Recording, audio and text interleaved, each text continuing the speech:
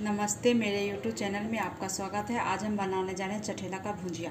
चठेला का भुजिया बनाने के लिए हम चठेले को अच्छे से धो के कट कर लिए हैं। अब अब हम कढ़ाई को चढ़ा दिए हैं गैस पे। तो देखिए, कढ़ाई में हम तेल डाल दिए हैं। तेल हमारा गर्म हो चुका है। अब इसमें हम जीरा डाल रहे हैं।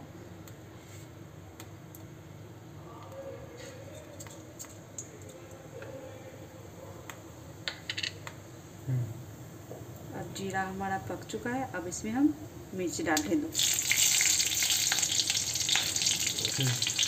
अब इसमें हम कटा हुआ सब्ज़ी डाल दें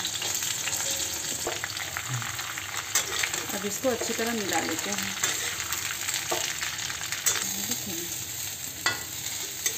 देखिए भुंजिया हमारा आधा कुक हो गया है। अब हम इसमें प्याज डालेंगे। प्याज हम इसमें मैं इसलिए नहीं डाले कि प्याज हमारा जल जाएगा। अब हल्दी डाल दें।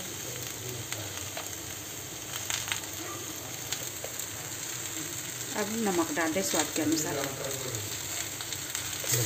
अब इसे हम अच्छी तरह मिला लेते हैं। और और गैस को कम करके इसे हम पकाएँगे। देखिए, अब हमारा चटेला का भुजिया पक गया है। अब हम आपको दिखाते हैं। देखिए, पक गया है। तो देखिए हम गैस को बंद कर रहे हैं और चठेला सेहत के लिए बहुत ही अच्छा होता है। आप लोग घर पे ज़रूर बनाएँ।